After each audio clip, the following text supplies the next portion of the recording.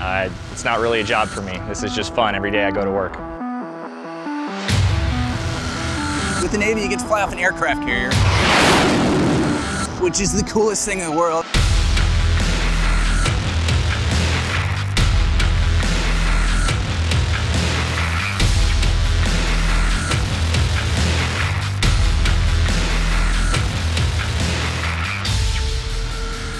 Thing about the F-18 that separates it is its ability to do pretty much everything. It can take off, drop bombs, and fight its way through the sky. You go to take off and you plug in afterburner and you kind of get blown back in your seat. You're like, okay, this is for real. At times, you'll be pulling upwards to 7 Gs for short periods of time.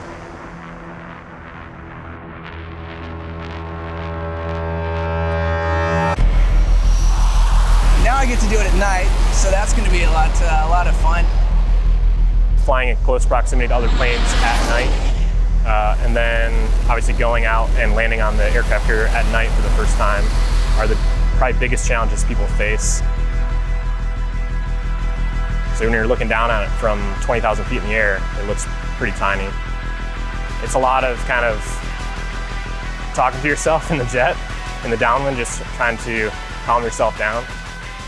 15 to 18 seconds of a lot of focus. You're stopping the ship. This is the uh, F-35C. It's the Navy's variant of the Joint Strike Fighter. Uh, single engine fighter, fifth gen uh, aircraft. Brings all the stealth technology uh, to the fight. It's a kick-ass airplane. Purpose is to go into an environment that is uh, harder to access for enemy threats. It's got touchscreens uh, in the uh, in the jet. Everything's projected in front of your face. Single engine.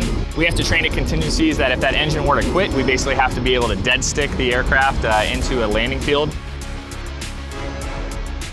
Uh, there's probably only about 30 pilots in the Navy right now that actually fly the F-35C.